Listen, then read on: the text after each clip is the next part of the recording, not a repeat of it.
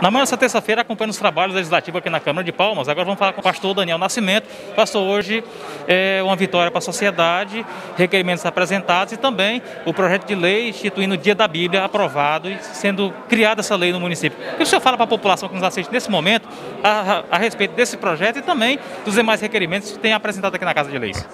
A gente sabe que nossos requerimentos a gente tem atendido a população são requerimentos das pessoas que estão precisando na sua quadra, no seu bairro, têm entrado em contato conosco, nós temos apresentado.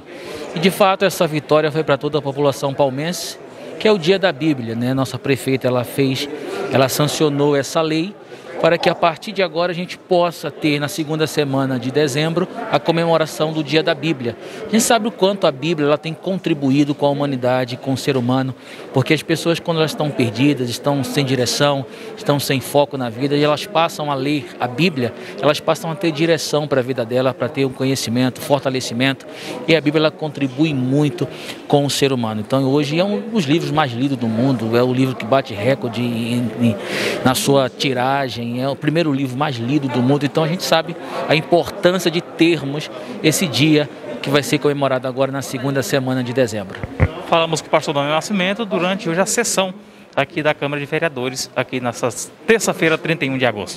Primeiramente, para agradecer a Deus e também a prefeita por sancionar a nossa lei, o Dia da Bíblia, que agora é a Lei 2613 e será celebrado no segundo domingo de dezembro. E nós sabemos que a Bíblia ela tem levantado e dado muito, a muitas pessoas uma oportunidade de vida, porque quando você começa a ler esse livro que inspira e que traz vida, é impossível você não mudar seus conceitos, suas atitudes, seu comportamento, porque a Bíblia ela é a palavra e levanta caído e fortalece o fraco. E agora nós teremos no nosso município, na segunda semana de dezembro, teremos essa comemoração que com certeza vai ser bem-vinda em nosso município.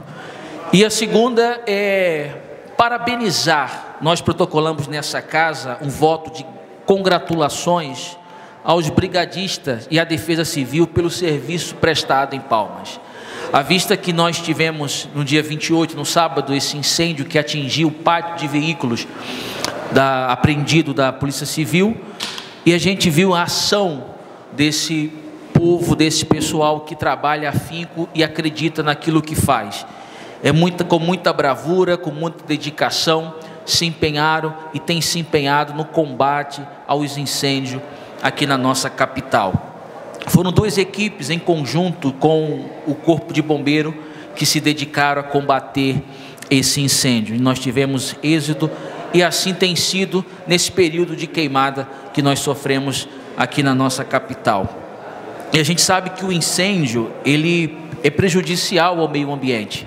E além de ser prejudicial ao meio ambiente, ele também traz problemas de saúde e, traz problemas de saúde a idosos e as crianças, né? Então a gente precisa sim combater e a gente tem, professora Yolanda, equipes preparadas. A gente precisamos dar mais qualidades em equipamentos, em uniformes, para que eles possam combater de fato é, esses incêndios que têm sido prejudicial ao nosso município. Então, parabéns à equipe de brigadista, à, à Defesa Civil e ao Corpo de Bombeiro que tem combatido esses incêndios. Então, essas são as minhas palavras. Obrigado, que Deus abençoe a todos.